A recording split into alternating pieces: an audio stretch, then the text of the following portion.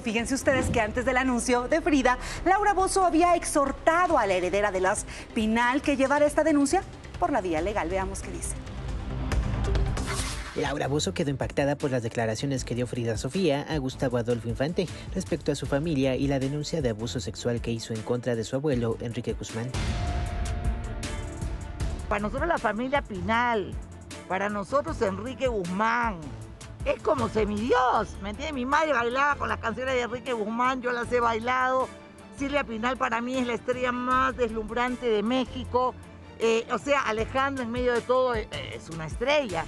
Y esto me parece terrible. La conductora de televisión fue contundente e hizo una invitación a Frida Sofía para que dé el siguiente paso y se conozca su verdad. Me parece sumamente doloroso porque creo que es un hombre que tiene casi 90 años que tiene una carrera impecable, ¿no? Ahora Frida le tengo mucho cariño, a Frida le tengo mucho cariño y, estoy como entre la espada y la pared en este tema, ¿no? Porque toda mi vida he defendido los derechos de las mujeres, del abuso, toda mi vida he defendido la violencia que siempre a veces hay en las familias de tipo sexual, eso me parece una cosa de horror. Pero tampoco puedo, podría aceptar, jamás podría aceptar una denuncia sin ningún tipo de pruebas. Se los voy a decir bien claro. Soy la primera que hace más de 30 años lucha por empoderar a la mujer. Soy la primera que he luchado contra la violencia, contra el maltrato y con el acoso.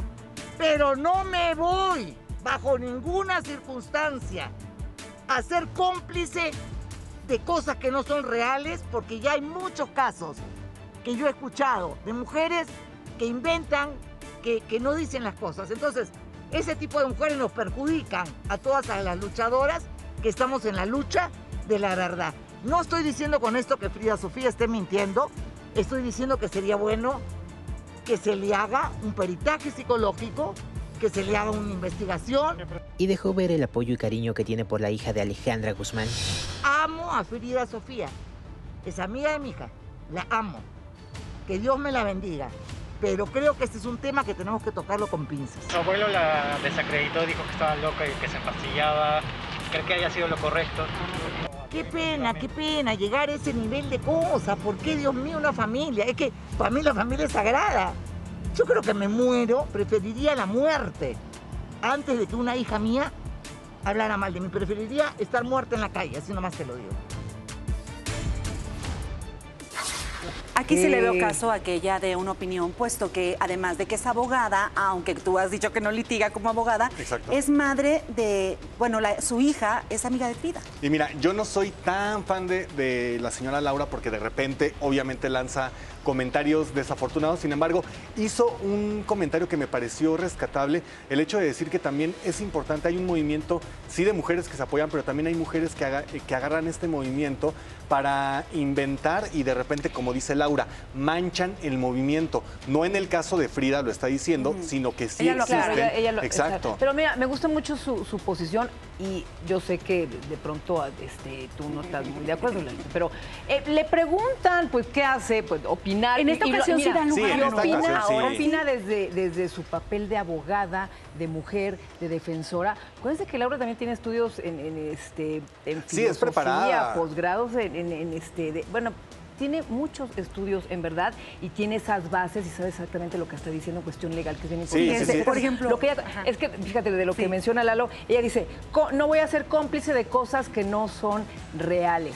Entonces, por eso ella recomendó esta vía legal y que se haga, ¿no? Como la justicia determine. Ahora yo pienso que la falsedad de declaraciones no tiene género, es una falta de, es un delito, pero no es cuestión de género.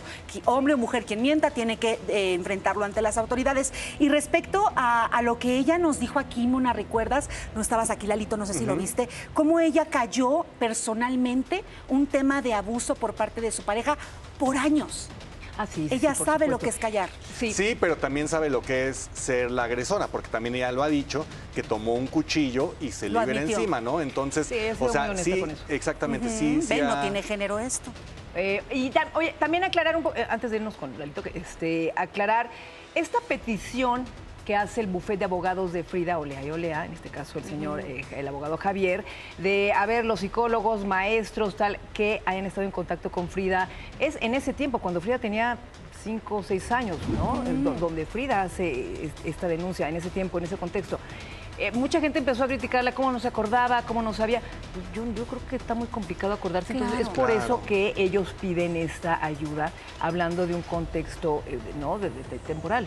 Y ahora, que, una niña. ¿Por qué estamos nuevamente juzgando a la presunta víctima? Ahora, ahora que, mencionan esto de, que no se acordaba Frida, también mucha gente en redes sociales dice, bueno, es que Frida está acusando al abuelo, pero ¿por qué no acusa al que la violó supuestamente? Pues porque ni lo conocía. o sea, claramente si prestamos atención a la entrevista, eh, yo también se lo dije a Gustavo. Le dije, oye, Gus, ¿y por qué no eh, demanda o, no también toma acción legal contra este tipo? Ajá, que, que saque nombre, porque la gente quien ella dijo que perdió su virginidad lamentablemente en una forma, pues sí, agresiva, violenta, porque fue una violación, como ella lo menciona. Pues no se acuerda.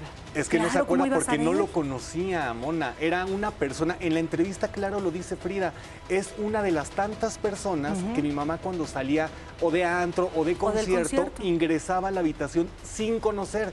Entonces no es una persona cercana. Por eso ella también aclaró, no es de las parejas. Primero dijo los noviazgos de mamá y dijo, y estas personas que no tenían que ver con un noviazgo con mi mamá. Es importante decirlo porque mucha gente comenta de por qué da el nombre de un agresor y no de los demás, porque no los conocía. Claro, porque desde los cinco años, claro que ubicas quién es tu abuelo, hablando obviamente de Frida y lo que ella ha dicho, y no lo decimos nosotros, pero esta persona no tiene nombre, no tiene rostro, pero sí dejó una huella, obviamente, en la vida de Frida, según su versión.